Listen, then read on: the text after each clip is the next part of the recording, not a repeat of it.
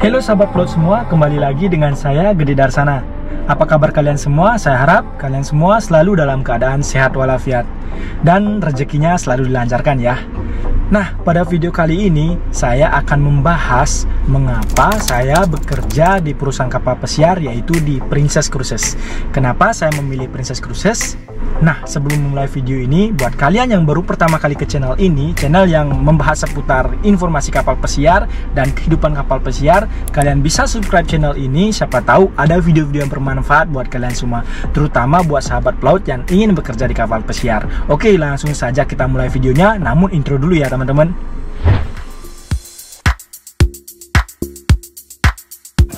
Teman-teman, teman-teman yang pernah kerja di Radiant of the Sea Halo sahabat plot semua, pada video kali ini saya sedang berada di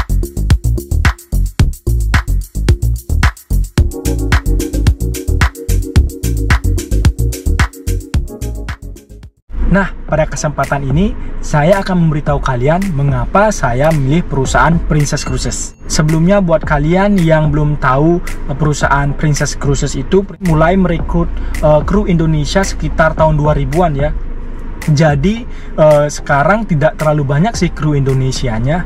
Uh, nggak terlalu kayak di Carnival atau di MSC atau di Holland Amerika lain di sana banyak sekali kru Indonesia.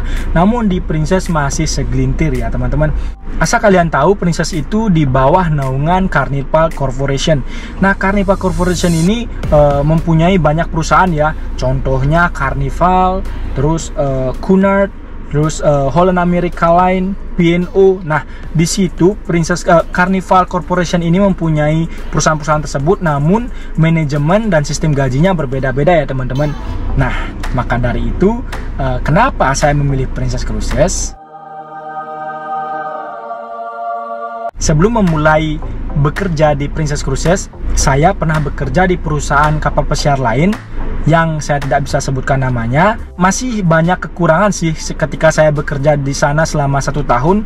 E, maka dari itu saya memutuskan untuk pindah kapal. Saya mencari tahu informasi dari teman-teman dari internet e, perusahaan apa sih yang bagus dan mempunyai gaji yang e, lumayan besar terus sistem kerjanya yang bagus. Nah akhirnya saya mendapatkan informasi bahwa Princess Cruise ini e, bagus juga uh, dibandingkan dengan company-company lain. Oke, buat teman-teman yang nonton video ini yang bekerja di company lain selain di Princess Cruises, kalian bisa komen ya nanti uh, apa saja kelebihan kalian bekerja di sana, apa saja benefit-benefit yang kalian dapatkan di perusahaan kalian. Nah, pada video kali ini saya akan memberitahu kalian benefit yang kita dapatkan ketika kita bekerja di Princess Cruises. Oke teman-teman, yang pertama nih, tiket joinnya gratis ya teman-teman tiket joinnya gratis. Meskipun kalian first kontrak, second kontrak, third kontrak atau sampai 10 kontrak ketika kalian berangkat ke kapal pesiar tiket itu dibayarin oleh agensi atau perusahaan kapal tersebut.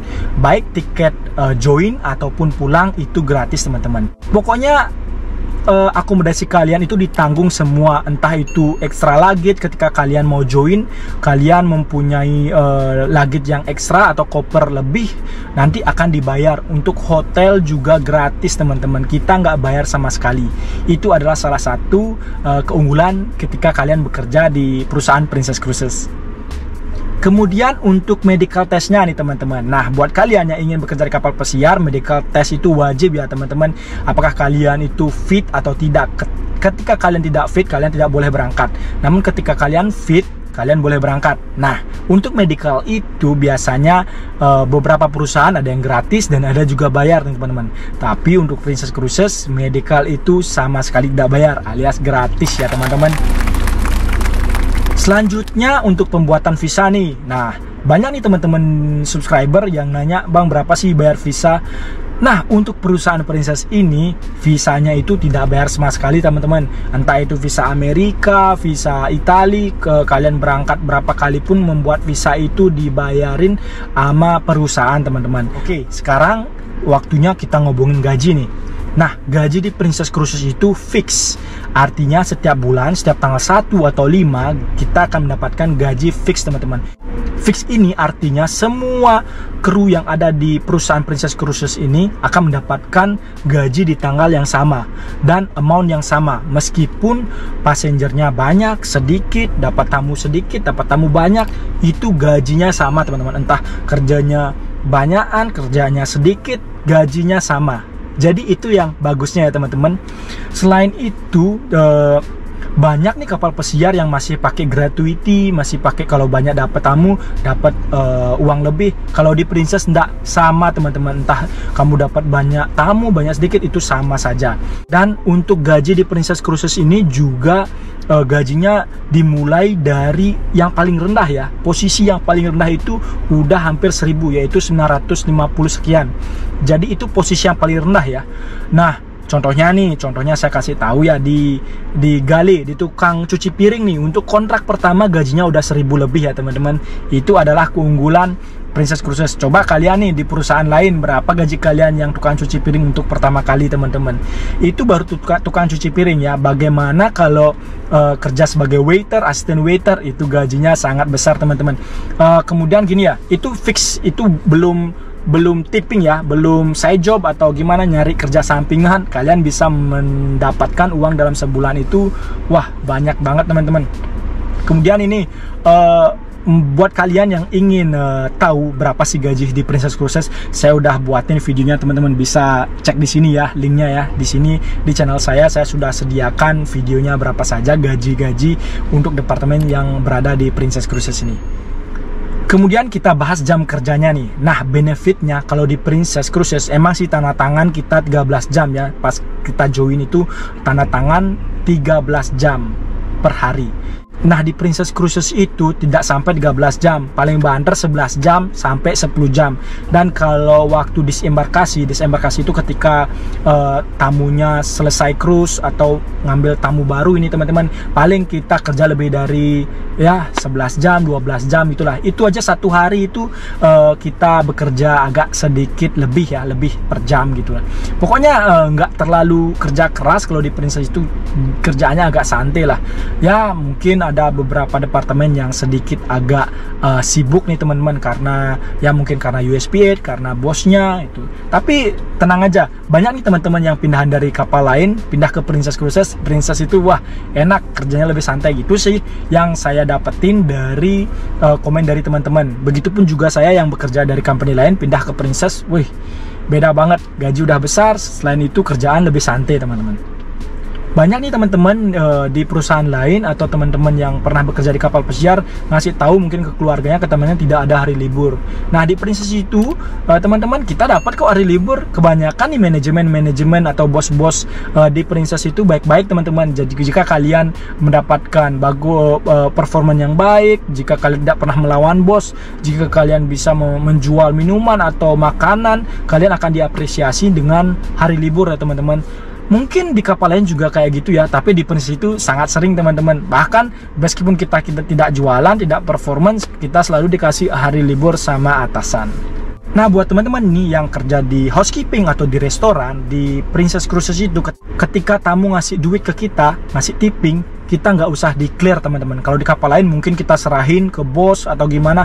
Di sini nggak biarpun bos pun ngelihat kita taruh di kantong itu sama sekali bebas teman-teman bebas. Kita boleh ngambil tip uh, segimanapun kita bisa bagi ke asisten terserah.